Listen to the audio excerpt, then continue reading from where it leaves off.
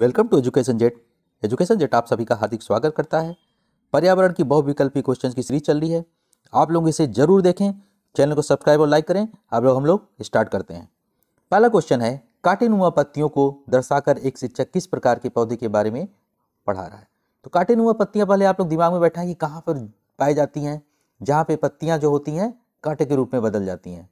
तो जहाँ पे पानी की कमी होगी, पानी की कमी कहाँ होती है? मरुस्थलीय क्षेत्रों में। तो रेगिस्तानी या मरुस्थलीय क्षेत्रों में जो पौधे पाए जाते हैं, उनकी पत्तियाँ कांटेदार होती हैं, ताकि पानी का वाष्पोत्सर्जन ज़्यादा ना हो सके और पौधे में पानी की आवश्यक मात्रा बनी रहे। अब हम लोग नेक्स्ट देखते हैं। निम्नलिखित पौधे में से कौन सा वृक्ष का उदाहरण है? हमारे पास चार ऑप्शन दिए हुए हैं। तो इसका जो राइट आंसर हो जाएगा हमारा बरगद। ये सब क्वेश्चन आए हुए हुए हैं इसको आप लोग ज़रूर करके जाएँ। नेक्स्ट क्वेश्चन बाढ़ से संबोधित संबोधित पौधे मर जाते हैं क्योंकि संबोधित क्योंकि क्या होता है? यानी बाढ़ में डूबे हुए पौधे मर जाते हैं। क्यों? रीजन क्या है इसका? क्योंकि मूल श्वसन रुक जाता है। तो इससे क्या होता है बेसिकली मूल श्वसन रुक जाता है मतलब कोश का रस जो होता है, सांद्र हो जाता है। अब हम लोग आगे देखते हैं। लौंग एवं केसर पौधे के किस भाग से प्राप्त होता है? हमारे पास चार ऑप्शन दिए हुए हैं। ये बहुत इंपॉर्टेंट है। हर एक एग्ज़ाम में ये पूछता है। तो बेसिकली ये किससे प्राप्त होता है? बी हमारा राइट आंसर क्या हो जाएगा? बी यानी फूल और या जिसको हम क्या बोलते हैं? कली बोलते हैं। तो इससे पाया जाता है। तो केसर का उत्पादन भारत में सबसे ज़्यादा कहाँ पाया जाता है? जम्मू कश्मीर। और लौंग का उत्पादन केरल राज्य में। तो ये सब भी आप लोग याद रखिएगा। नेक्स्ट देखते हैं। निम्नलिखित में से में किससे कुनाइन नामक दवा प्राप्त होती है? तो बुखार के लिए ये यूज़ होता है ना? कुनाइन नामक दवा बुखार के लिए यूज़ होती है। तो इसका राइट आंसर ये बहुत बार पूछा है, इसको आप लोग एकदम रट लीजिए। सिंकोना प्लांट से प्राप्त होती है। सिंकोना की जो छाल होती है ना, उससे कुनाइन नामक दवा बनाई जाती है, जो मलेरिया के उपचार में किया जाता है, ठीक है? तो ये याद रखिएगा। भारत में फलों के अंतर्गत सर्वाधिक क्षेत्र है। तो भारत में सर्वाधिक क्षेत्र फलों के अंतर्गत क्या हो जाएगा? हमारा आम। सर्वाधिक क्षेत्र जो है आम का है। ठीक है? अब हम लोग आगे देखते हैं। भिंडी में पाया जाता है तो हमारे पास चार ऑप्शन दिए हुए हैं तो राइट आंसर इसका देखते हैं।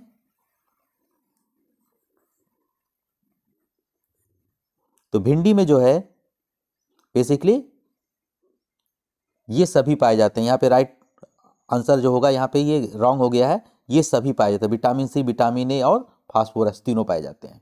हम लोग आगे देखते हैं। वनों के महत्व के कारण हैं। हमारे पास चार ऑप्शन दिए हुए हैं। राइट आंसर इसका जो हो जाएगा, हमारा डी ग्रीन गोल्ड ठीक है? वन हमारे लिए उपयोगी तो होते ही हैं। और विभिन्न प्रकार की लकड़ियाँ, गोदार सबसे होती हैं। औषधियाँ सब किससे मिलते हैं? हमारे पेड़ पौधे से ही मिलते हैं। तो वन जो है, हरा सोना कहा जाता है इसको ग्रीन गोल्ड नेक्स्ट देखते हैं। भारत का राष्ट्रीय पशु। तो भारत का राष्ट्रीय पशु हमारे पास चार ऑप्शन दिए हुए हैं। तो हमारा डी हो जाएगा ऑप्शन बाघ। ठीक है? उसके बाद देखते हैं।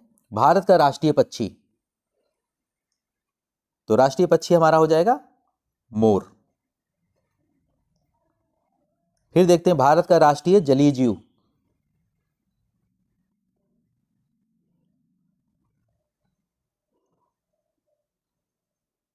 तो ये हमारा हो जाएगा डॉल्फिन आंधी डॉल्फिन। नेक्स्ट भारत का राष्ट्रीय विच चार ऑप्शन दिए हुए हैं, हमारा बरगद हो जाएगा। ठीक है, ये ऑक्सीजन भी निकालता है, इसलिए बहुत इंपॉर्टेंट है। सबसे ज़्यादा ऑक्सीजन रात में भी निकालता है। निम्नलिखित में से जीवन प्रक्रियाओं को कौन सा युग्म, पेड़, पौधे और जीव जंतुओं दोनों में मिलता है? चार ऑप्शन दिए हुए हैं। ध्यान से देखें आप लोग। तो इसका राइट आंसर क्या होगा? वृद्धि और प्रजनन जो होता है, प्रजनन दोनों जीव और उसमें दोनों में मिलता है। नेक्स्ट देखते हैं। इस पौधे में पत्तियाँ हैं, जिन्हें सब्ज़ी की तरह प्रयोग में लाया जाता है। इसके बीजों से तेल प्राप्त किया जाता है। चार ऑप्शन दिए हुए हैं हमारे पास।